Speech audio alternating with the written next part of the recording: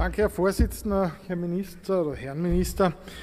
Äh, zum Thema Nebenwirkungen, weil das gerade vorher Diskussion war. Ich kann mich erinnern, in einer meiner Reden habe ich aus einer Facebook-Gruppe zitiert, äh, Ärzte versus Covid-19 mit ca. 4000 Mitgliedern. Da habe ich dann dich, Herr Kollege Kornhäusl, äh, gefragt, ob du zufällig Mitglied warst in dieser Gruppe. Einer, der Mitglied war in dieser Gruppe, war der Herr Seckeresch, ein anderer war zufällig Mitglied im Impfgremium im Nationalen. Und was da drinnen alles geschrieben worden ist, wie despektierlich das gegenüber der Bevölkerung war, das wissen wir alle. Eines, was auch ganz interessant war, war zum Thema Meldung von Nebenwirkungen. Das haben Ärzte geschrieben in dieser Gruppe, das haben nicht wir geschrieben. Und dort, genau, und dort wird geschrieben, einer der Ärzte berichtet über einen Patienten, der zwei Monate nach dem Stich mit Johnson Johnson mit einer halbseitigen Gesichtslähmung leidet. Das ist jetzt nur ein Beispiel.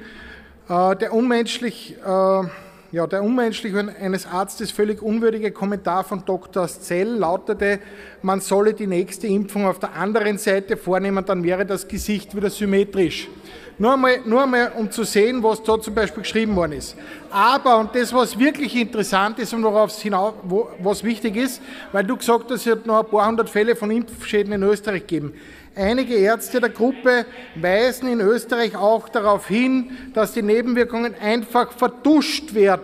Andere wiederum fragen sich nur, wer ihnen den Aufwand bezahlen soll, beziehungsweise meinen sie, dass sie zwei Stunden pro Tag benötigen würden, um die Nebenwirkungen einzumelden. Alles nachzulesen in dieser Gruppe, Herr Kollege. Und da kannst du zehnmal sagen, es hat nicht viele gegeben. Es hat auch, Gott sei Dank, gibt es in der Zwischenzeit äh, ja, Sender, die nicht nur den Mainstream bringen, sondern auch zum Beispiel eine eigene Impfschadenserie gebracht haben. Gibt es in Österreich, gibt es in Deutschland, gibt es auch in vielen anderen Ländern. Aber komischerweise, das interessiert der erinnern kann, es wird ignoriert.